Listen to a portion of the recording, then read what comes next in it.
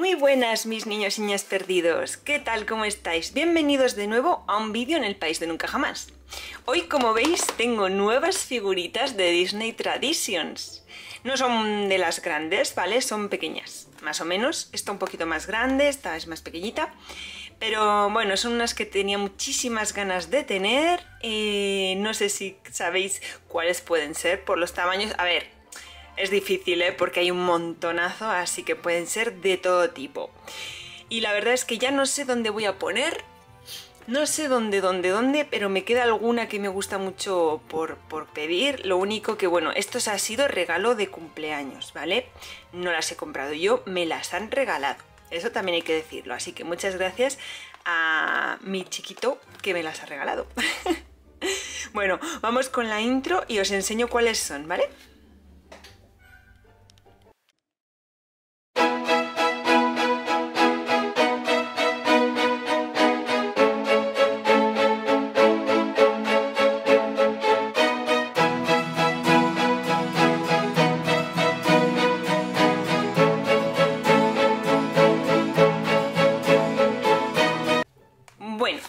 A empezar por esta pequeña, ¿vale?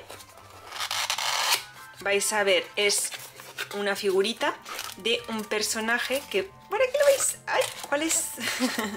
ya la habéis visto. Bueno, es Jack, el ratoncito que ayuda siempre a Cenicienta, ¿vale? Supongo que lo conocéis todos, sobre todo si os gusta la película, si la habéis visto, pues ya sabéis quién es. Por aquí está Jack. Aquí está. Ay, mirad lo que majito es. Le vamos a quitar esto porque ya la voy a colocar también en la vitrina con el resto de figuras.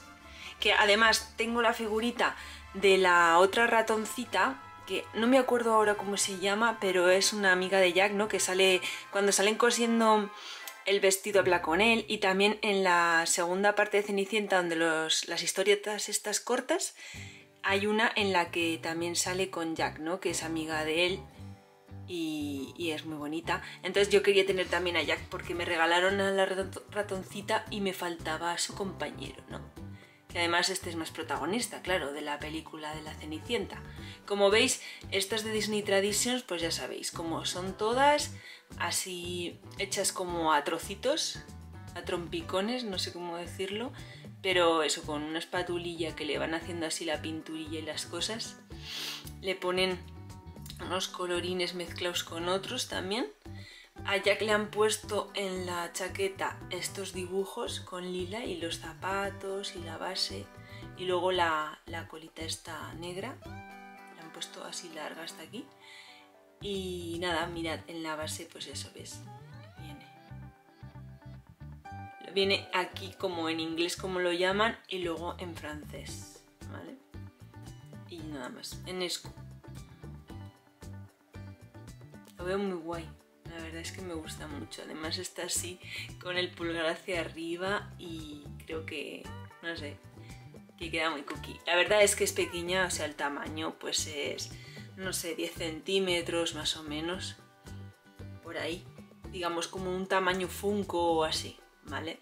Y nada, pues la pondremos y esta como no ocupa mucho nos cabrá bien, seguro. Vamos a por la otra.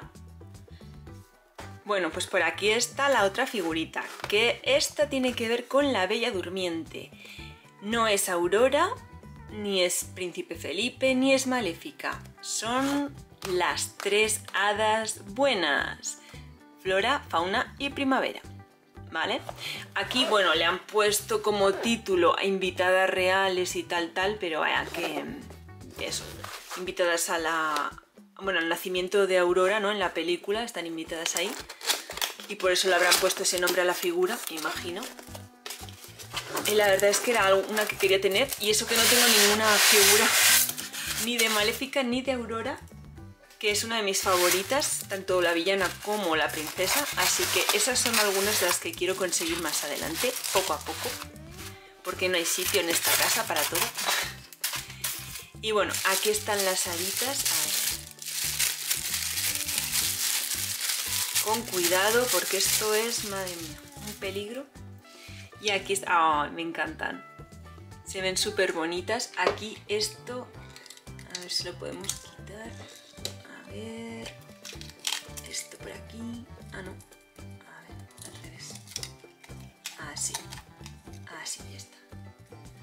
Vale, pues eso. Aquí están em, flora, fauna y primavera. ¿Ves? No me voy a confundir.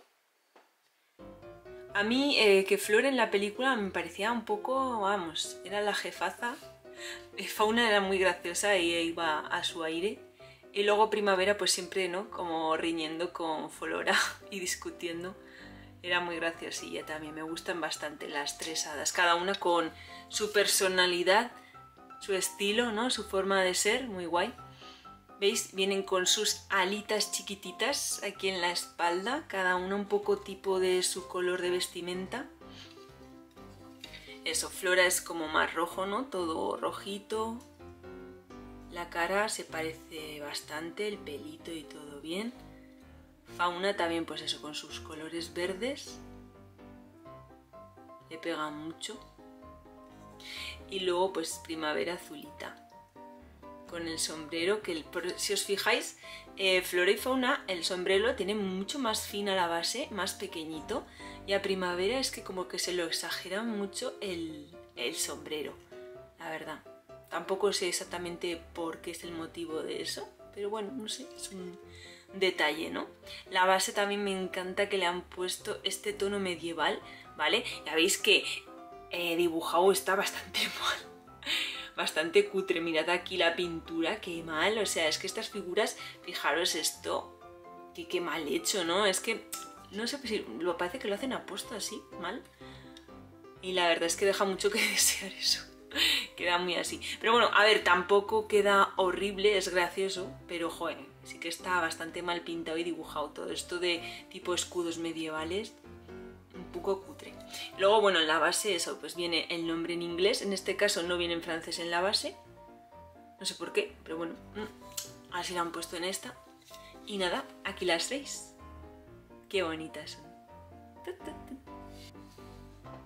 Bueno, pues hasta aquí el vídeo de estas figuritas Disney Traditions, regalito de cumpleaños, que como sabéis ha sido ahora mismo.